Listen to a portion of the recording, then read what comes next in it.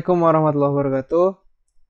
Kembali lagi bersama saya Hafiz Fadilah Ramadhani di channel Education and Motivation Channel. Pada kali ini kita akan memberitahukan bagaimana cara bikin kelas sampai membuat tugas. Ya dari Google Classroom. Oke. Di sini kita yang pertama kita pastikan dulu dia sudah login di Google account ya atau akun Google-nya sudah ma masuk. Nih tandanya di sini. Ada tandanya bahwa akun Anda sudah masuk. Ada tandanya kalau di sini dia tandanya adalah gambar panah atau icon dari Education Motivation Channel. Sekarang bagaimana cara membuat kelas ya? Tinggal klik di sini ada plus. Plus plus sip. Nah, karena di sini saya bahasa Indonesia, maka yang dipakai juga bahasa Indonesia. Kita ingin membuat kelas. Kalau gabung kelas ini jika ada uh, kelas yang sudah ada gitu. Jadi kita bisa masuk dari kelas yang sudah ada. Kalau buat kelas benar-benar pure belum punya kelas sama sekali. Jadi kita akan buat kelas dulu. Ya, dibaca. Ini perjanjiannya tinggal setuju contreng di sini terus lanjutkan. Kemudian buat nama kelasnya misalkan kelas uh, matematika 7A ya atau bisa diganti dengan nama sekolah kalian nama sekolah gitu kan terus bagiannya ini bisa diganti dengan kelas misalkan kelas 7A mata pelajarannya matematika. Ruangnya ruang bebas. Jadi ini sesuai uh, yang kita inginkan saja. Oke di sini sudah dipastikan sudah diisi semua. Tinggal klik buat. Maka otomatis akan terbuat kita tunggu. Nah ini masuk ke tampilan awal. Ya ini tampilan para guru-guru. Ini ada kode kelasnya. Ini kalau misalkan kalian ingin membagi ke peserta didik kalian. WBP TNT 2 ini tinggal di copy ya terus kirim ke peserta didiknya.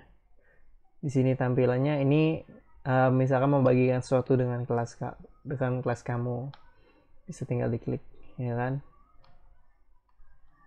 Ini bisa dalam bentuk file dengan klik tambahkan ya Google Drive file link YouTube jadi bisa dari uh, data yang sudah ada yang sudah disimpan di Google File Google Drive atau dari komputer kalian ya ataupun ada ada link yang sudah dibuat atau pakai Google Form gitu kan itu bisa kita tinggal klik link.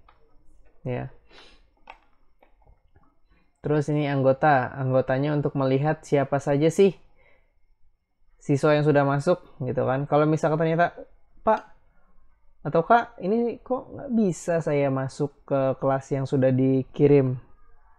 Ya sudah dikirim kodenya namun namun tidak bisa masuk tinggal klik ini undang kita undang siswanya ya kan dengan cari emailnya misalkan uh, siapa tahu at gmail.com gitu kan. Nah gitu nanti tuh. Tinggal klik namanya klik undang maka dia akan terundang otomatis untuk masuk ke kelas dan ini ada kolom nilai juga nilai. Jadi terekap dengan rapih. Kalau misalkan memang kalian memakainya dengan baik. Kita masuk ke tugas kelas. Mau buat tugas hari ini? Buat. Mau bentuknya tugas tugas kuis atau pertanyaan atau materi. Ya. Atau bisa menggunakan kembali postingan yang sudah ada. Tinggal kita co coba kita buat tugas dulu. Kita buat tugas judulnya kasih misalkan bilangan. Ini petunjuknya petunjuk yang akan kamu arahkan kepada peserta didik kamu. Misalkan silahkan dikerjakan. Dikerjakan hanya satu kali pengerjaan. Oke. Di sini ada tugaskan. Ya di sini juga ada opsi lainnya.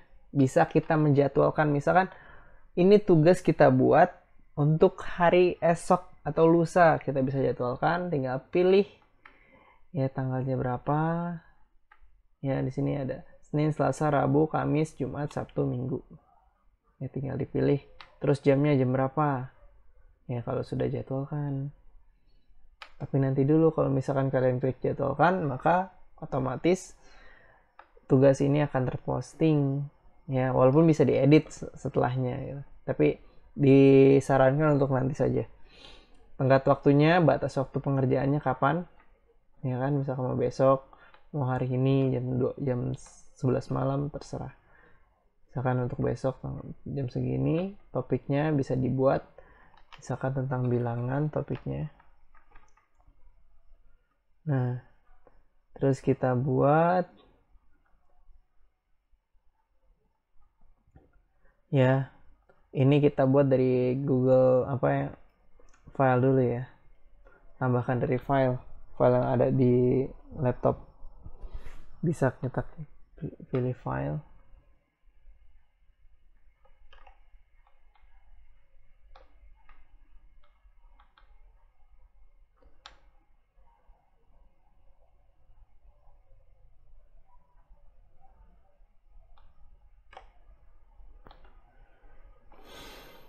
kita pilih filenya misalkan ini. Kalau sudah upload.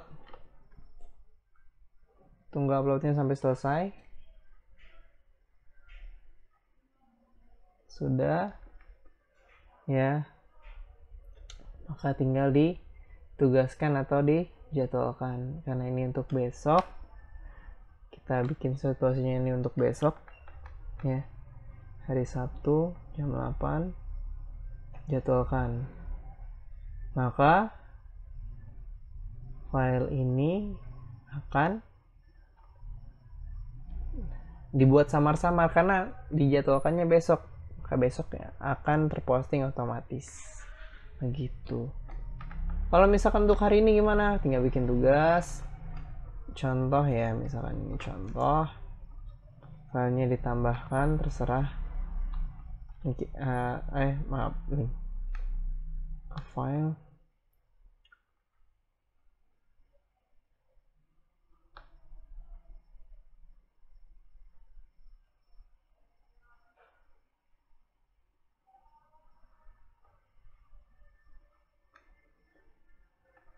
Uh, salah file. Langsung saja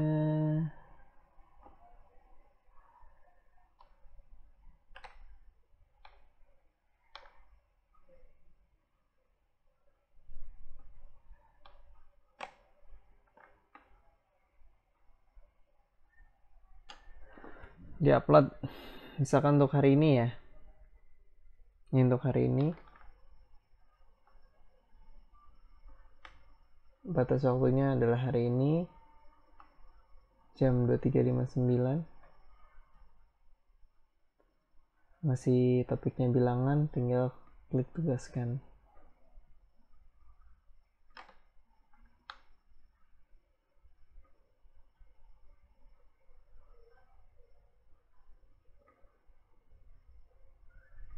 Nah, tugasnya dibuat. Terus kemudian coba kita jadi siswanya. Ya.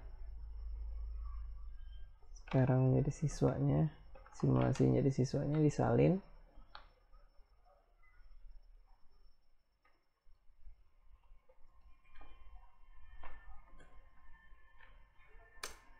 kita masuk classroom ganti akun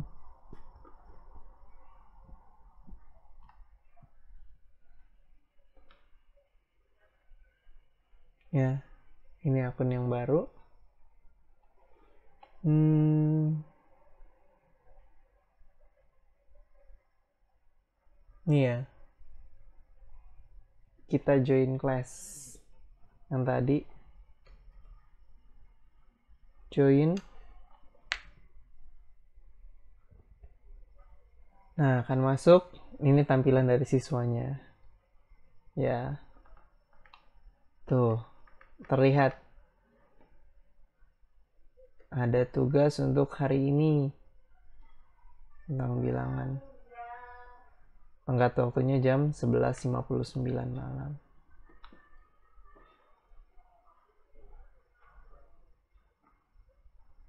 Wah.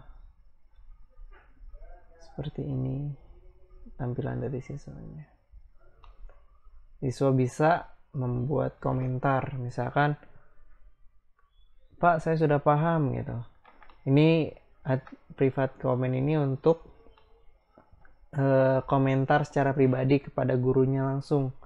Kalau ini komen di kelas. Ya beda. Jadi kalau komen di kelas bisa terlihat oleh semua siswa. Kalau private comment ya atau komen pribadi hanya dari siswa tersebut pada gurunya. Ya misalkan dia ini kan ciri uh, contohnya adalah sih uh, dia diminta misalkan diminta untuk mengirim hasil jawabannya dia bisa buat ini. Ya add add or create create maaf. Ya tambahkan. Di sini bisa dia mencari file yang sudah dia buat gitu kan di komputernya atau di HP-nya ya. Ini ini tampilannya sama ya antara HP sama laptop. Hanya beda di apa namanya layoutnya aja. Mungkin ininya ada di bawah nanti nih. Kalau di laptop kan dia terlihat semua. Sudah dicari filenya gitu kan. File dari laptop atau HP-nya kalau sudah, pastikan kamu mengklik ya siswa itu peserta diri mengklik mark as done atau selesai ya. Ketika sudah diklik sudah dipastikan klik maka guru akan menganggapnya dia sudah mengerjakan soal tersebut. Nih kita lihat ya di sini. Nah Nih, tampilan guru, guru akan melihat, oh yang sudah menyerahkan ada satu orang. Ya, karena tadi kelasnya hanya satu orang siswanya. Nih, kita bisa lihat tuh, habis Fadila Ramadhani. Maka, seperti itu. Demikian, semoga bermanfaat. Assalamualaikum warahmatullahi wabarakatuh.